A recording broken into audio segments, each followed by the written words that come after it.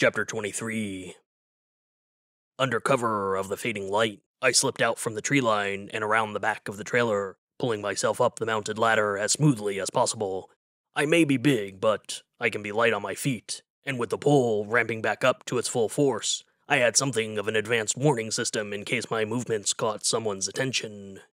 I stayed as flat as possible after climbing onto the roof of the trailer, both to reduce my visibility and to spread my weight out to risk the least amount of disturbance. I inched forward on my belly, moving carefully toward the first plastic skylight and minding the multiple psychic connections tightening at my chest. An invisible tensile pressure increased, and the vibrations the wires produced were getting stronger. Beckett had tried to argue with me, saying he was smaller and lighter. He waved his fancy phone in my face and said he could record whatever he saw through the skylight and report back. Then we could figure out the next move together. And for about a half second, I actually considered it. But what if any one of about a dozen things went wrong? There were too many guns to count, and that was before I could assess what was inside the trailer. The kid hired me to get him to the girl safely, he might have been better suited for recon, but there was too much risk. If, when, something went wrong, I needed to be able to deal with it without having to worry about the kid. I paused as I reached the skylight and let my cheek rest flat against the roof, almost dazed by the surprising realization. What the actual fuck? I was worried about Beckett Miller? One time Nazi fanboy, desperately misguided youth, and the idiot who was too girl crazy to see this shit show was a waste of time? No. That didn't make sense. And I didn't care what Murph thought. I'm not that good of a guy, and Gertie would be the first to agree. Maybe I was just worried about my contract with the kid. A deal he optimistically prepaid and overpaid for. I was worried about fulfilling my end of the contract. Yeah, that was probably it. Abraham Owens, the king of superior work ethic. Beckett fucking Miller. I sighed and inched forward, peering over the dome of the skylight before immediately yanking my head back. It was a clear, bright, and unobstructed view down into the main space inside the trailer. In my quick glimpse, I spotted people at the dinette, others on stools, and movements in the peripheral shadows. It was too clear of a view, and anyone would have to only look up to see my ugly mug staring down at them. I stopped a growl of frustration somewhere low in my throat and glanced further down the roof. The next outcropping was a vent over the bathroom. I carefully shimmied over to the slatted covering, peeked in, and was immediately assaulted with the odor of a very recent BM. A fan was spinning in the vent, blowing the smell directly into my face. Through the slats, I saw a man press the flusher with his foot, wash his hands, and then exit the bathroom. He flicked a switch on the wall as he went, and the fan inside the vent stopped. With the bathroom door open, I could clearly hear the voices from inside the trailer.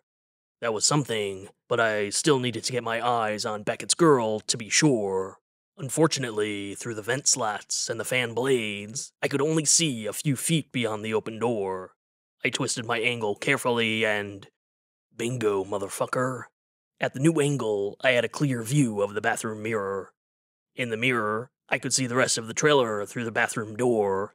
Councilman White was mindlessly picking at items on the kitchenette counter while he spoke to someone I couldn't see. He gave the impression of someone trying to play his cards close to his chest.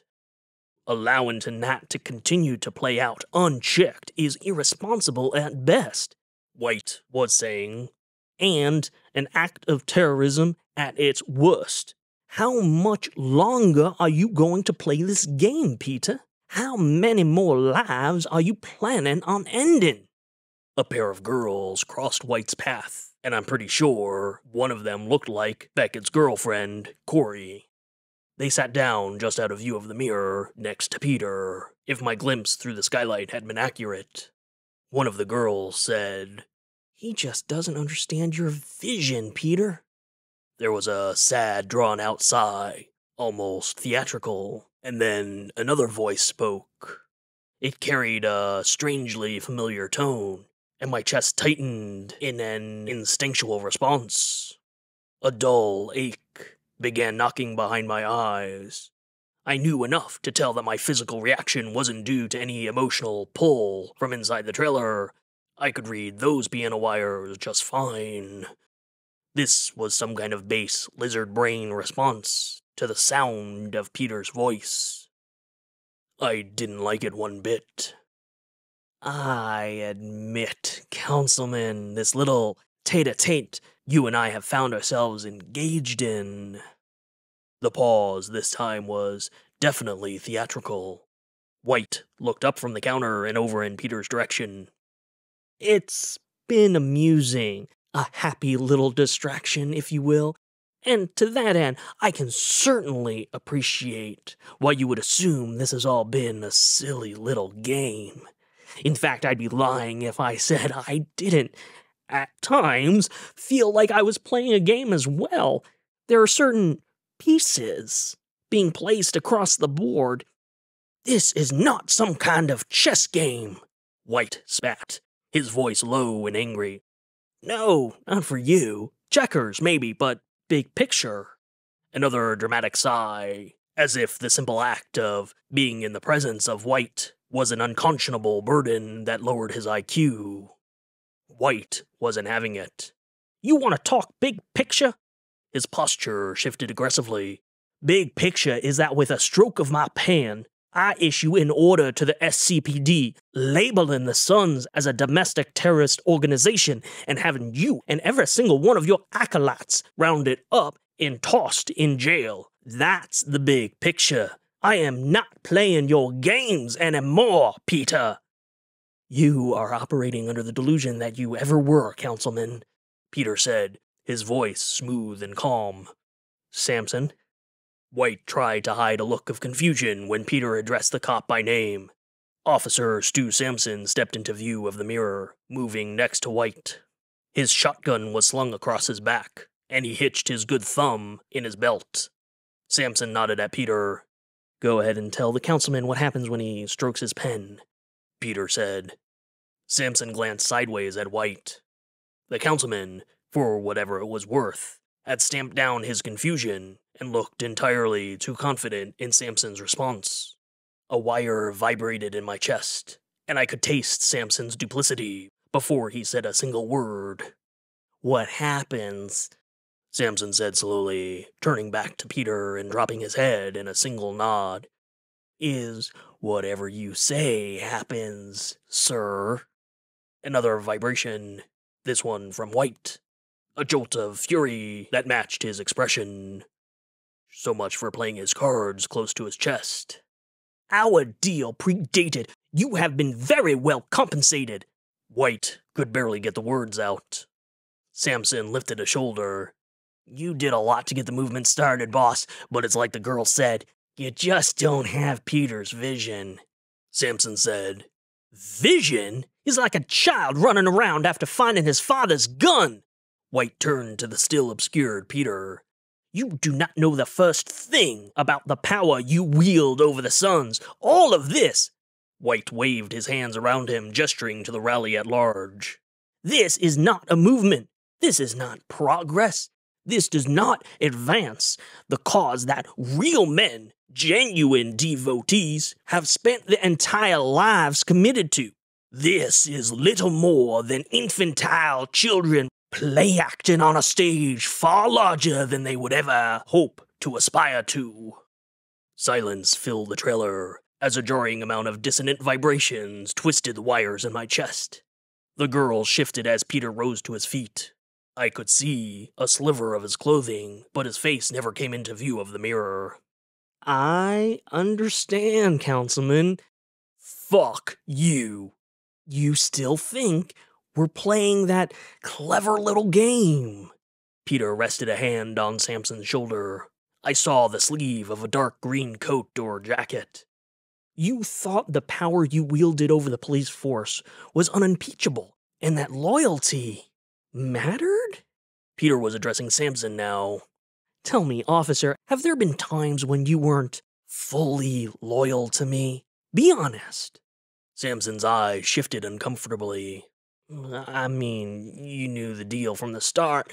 I respect your vision, sir, but I got alimony and loans and.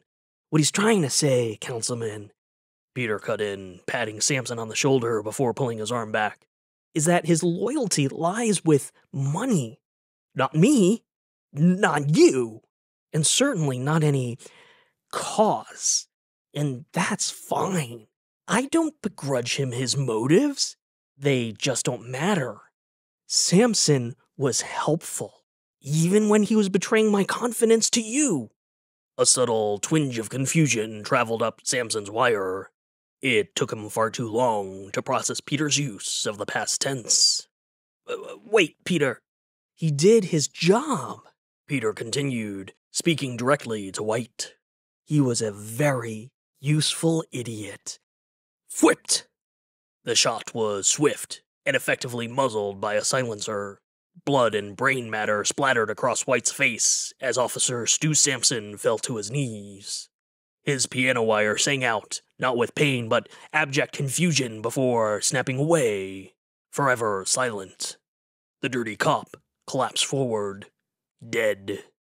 Everyone down in the trailer was frozen in shock. All but Peter. He stepped forward, his back to the mirror, and placed the gun on the counter. Clearly, he had no further use for it. White's jaw moved, but the words were slow to come. You fucking psychotic. Spare me, Peter said, his voice flat and indifferent. I told you this isn't a game. This is just the warm up. Peter started for the door of the trailer, and I twisted, hoping to catch a glance of his face. There was something inside me that needed to see who this person was. Where the hell do you think you're going? White shouted. Peter pushed the door open. You bore me, Councilman, and I don't know if you've noticed, but I have an entire army of useful idiots to entertain me. Peter! The door slammed shut, and Peter was gone.